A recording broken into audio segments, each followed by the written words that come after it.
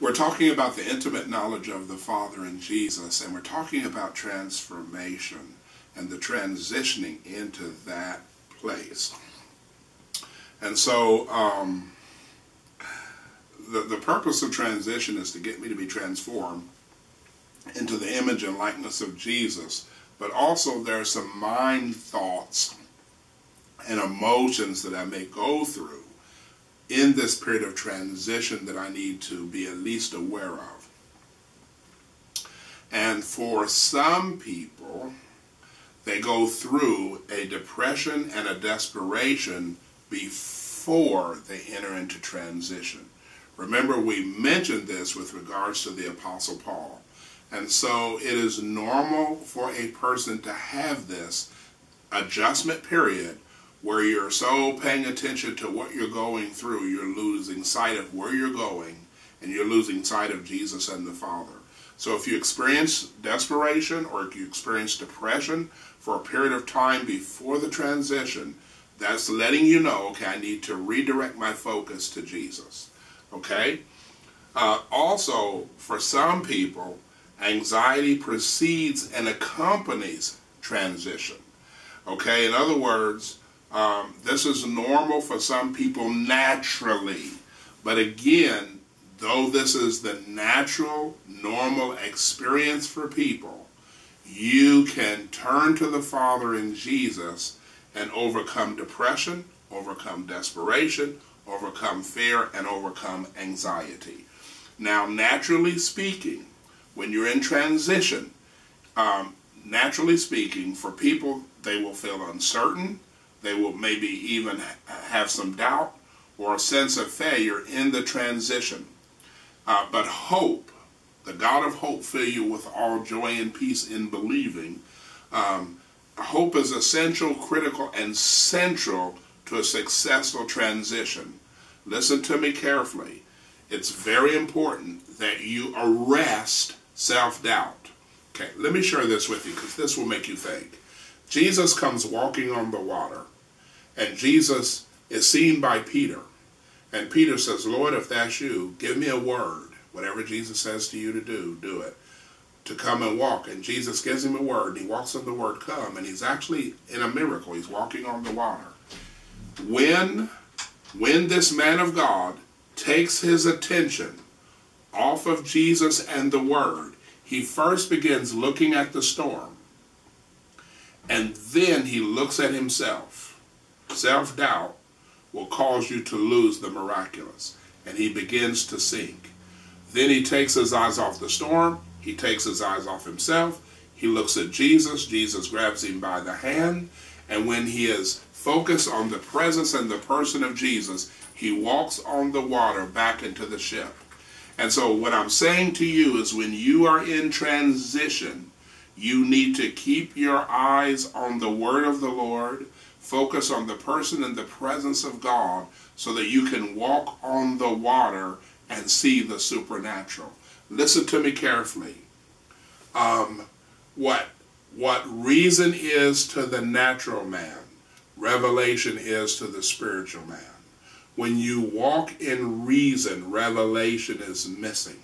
When you walk in intellectualism, okay, revelation is absent. Logic and reason are the foundations of the impossible. Revelation and faith, being in the presence of God and staying focused on the Father and Jesus, erase the borders of the impossible. The revelation of Jesus in my life, my relationship with the Father erases the borders of the impossible so that the impossible becomes possible. But I've got to eliminate self-doubt because self-doubt will get in the way of me accessing the revelation of the Father and putting into application the Word of Jesus. So it's essential that I understand that if I, in the natural, have a fear of the future and a sense of dread, this will accompany naturally the process of transition, but I can overcome it by the revelation of the Word. Now, for some people, the challenge of transition will be they become tired in their mind, they become weary and exhausted mentally, emotionally, and physically. And this is not at all uncommon for people when they are experiencing the challenges of transition. Okay? And, but some people, here's what happens to them. They get stuck in trans, transition. And so the period of transition may last longer than you think it should, and some people get stuck in transition, particularly when they take their attention off the Word of God, the Father, and Jesus. And so some people actually get lost in transition, overwhelmed in transition, and they get detoured in transition. Okay, and some people, naturally speaking, become confused, baffled, and disoriented during transition. Why? Because they take their attention off of Jesus and the Father. Okay, so uh, it is common for people to have these experiences. Now, here's here's here's what I want us to look at and examine for a minute, and uh, I need to um, to to find my note on this. And so, if you'll just just give me a second because I think it's so very, very important that um, we get we get a hold of this. Um, it's very interesting um, to me uh, because one of the things that can happen to a person is um, they can they can uh, because of because of transition they can become weary. Uh, Galatians 6 and 9 says this Let us not be weary in well doing, for in due season we shall reap if we do not faint. The word weary here in the original language means to be tempted to give in, to quit, and give up, and because he or she is attacked uh, by evil through circumstances or persons. The word well here is the word kalos, and it means that you're doing good works, things that are useful for other people. It could be the sowing of financial seeds. It could be the doing of good deeds. The word doing there is where we get the word um, uh, poetry.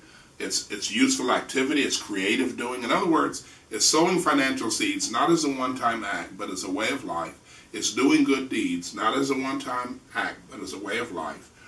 And uh, it's useful works. What's interesting is the word due season means that each financial seed has its own season of harvest, and each good deed has its own season of harvest. Uh, due season is the word kairos. Chronos is chronological time. Kairos is a time uh, characterized by the activity of God. In other words, at some point, you're going to see God act in your behalf in response to your sowing of financial seeds and good deeds. Okay? Due season means hmm, that each financial seed, each good deed has its own set time to mature for harvest. They don't all harvest at the same time. It's a time determined by God Himself. So there's a promise. You shall reap. See, now listen, listen. I, I'm going to reap from my financial good seeds, and I'm going to reap from my good deeds.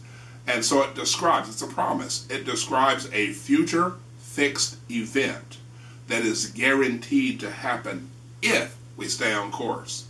If we shall reap if we do not faint. So if means that our actions have the power to disrupt our harvest. Shall reap. Okay, so it means that if I get off course, I can lose the harvest. So the word faint means to loosen or relax. It means a relaxed mental state. In other words, I quit doing what I'm doing. That results in a loss. So this is describing a person who's so weary that they give they give up right before reaping the harvest that they work for. So here's what happens. I stay in the presence of God, right? And as I stay in the presence of God, I'm delivered from weariness.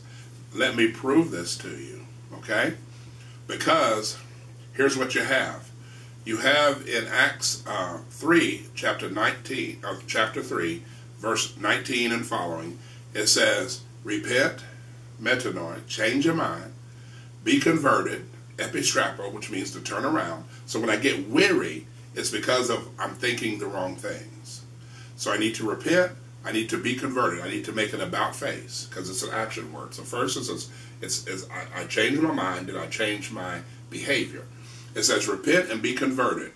Okay? Repent and be converted, epistrepho, that times, kairos, of refreshing come from the presence. And so what happens is this. The presence of the Lord removes the weariness. And so I have to quit striving, quit struggling, and then I just need to settle myself in the presence of the Lord, and I get refreshed, I get renewed, I get revived, I get restored, I get delivered from weariness so that I can run into my harvest. My harvest is right up here. And so if I just continue walking with God, I will run right into my harvest. Some people, they quit moving, and so they miss their harvest. Allow me to say this to you. You will um, you will have a successful conclusion to your transition if you stay focused on the word of the Father and the person of Jesus.